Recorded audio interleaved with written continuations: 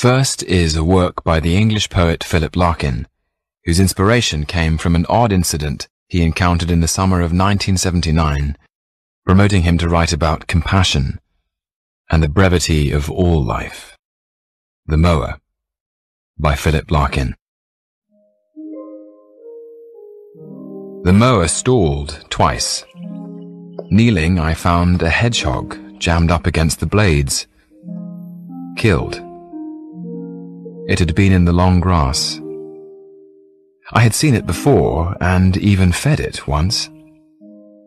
Now I had mauled its unobtrusive world unmendably. Burial was no help.